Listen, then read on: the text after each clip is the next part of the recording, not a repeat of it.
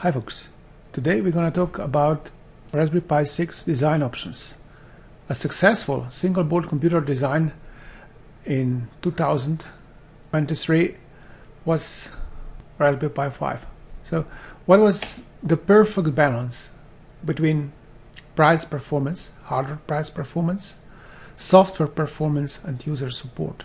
We want to have equally sided triangle so that you can maximize the surface here. So the surface represents popularity. So if we go on to 2025 that we are now, then have we have other single board computer designs which are based on other systems on chip with smaller processing nodes. This means that they can pack much more hardware logic in the same sized chip. They can offer more hardware for the same price. Let's compare this to Raspberry Pi 5's uh, surface of popularity. So we can see that Raspberry Pi, though it may lack in hardware performance, it's still better at software performance and user support.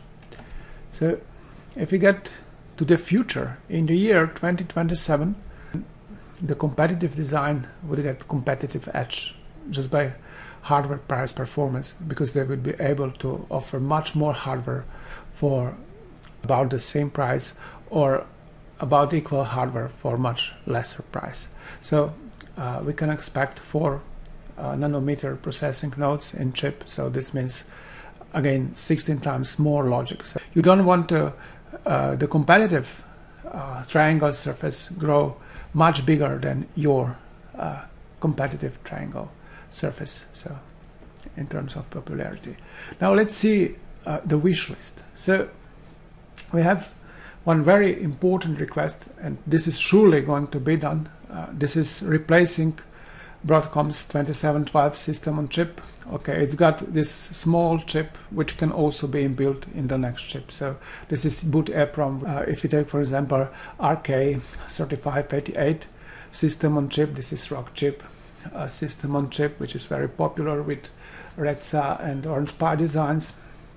They actually have a combined version of eight cores, uh, and they have lesser cores. These are uh, ARM Cortex A55, uh, and they actually are, on my opinion, replacing this RP1 chip. And the other four cores are actually uh, the same as here. So you get a comparable performance between these computers. And uh, what you can see here is what is the request is actually to widen the PCIe buses, to go to generation 4 if possible, or at least to officially support generation 3 so that I can be sure that I can uh, uh, insert any kind of uh, device with generation 3 and it's gonna work right now only generation 2 is guaranteed. And uh, of course to preserve this kind of connector because this connector allows you to connect a lot more hardware not just being limited to the single board computer. Uh, what is important here is actually to keep the CAN hats uh, operational and to enable using new hats with a wider PCIe bus. Uh, this is it. And then we have RAM that has recently uh, been upgraded by just using uh, the method of replacing the original C1 system on chip by D1 system on chip, which supports a large RAM up to 16 gigabytes. Yes. So then we have RP1 microcontroller, which is not only supports GPIO ports and uh, fan operation, but it also supports two USB 2.0 ports, two USB 3.0 ports, Ethernet port, so this Ethernet controller, and Wi-Fi ports, so serial connection to this controller. So it's a power management controller, uh, and right now it's um, capable of providing uh, Uh, about 25 watts of power. This is the first option. We suppose here that RP1 controller remains as it is because it's cheaper not to develop at the same time RP1 controller and system on chip. Let's have 8 ARM Cortex A78 cores. There was a lot of talking about A78 cores. There could also be a, A720 cores, which maybe burn a little less energy.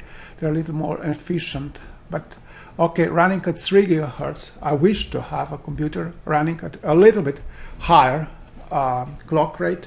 Uh, this means that actually right now we have officially supported 2.4 gigahertz. I have my extreme Raspberry Pi that's running at 3 gigahertz, but it has enormous cooler on it. So actually it gets cooled more or less passively, but there is a fan just in case it, it, will start if it was overheating. So it works very well. Then we did at least 10 times faster GPU 8k graphics is a must in new Raspberry Pi 6 so I hope they, they go to this.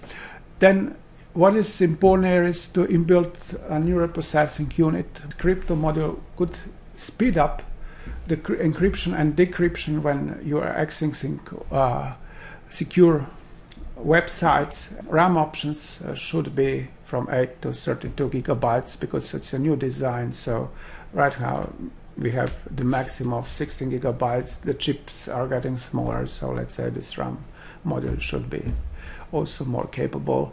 Then we have this DA uh, 1992 controller. The current could still remain uh, less than 5 ampere.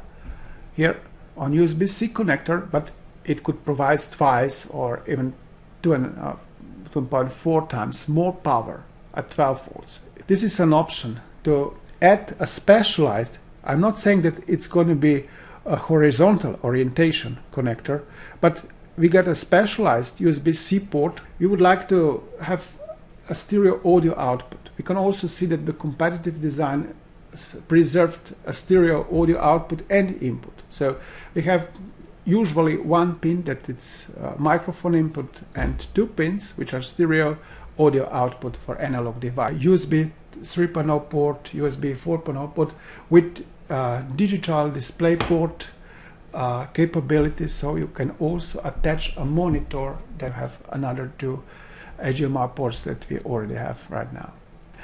So uh, option 2 is actually replacing RP1 microcontroller with something new.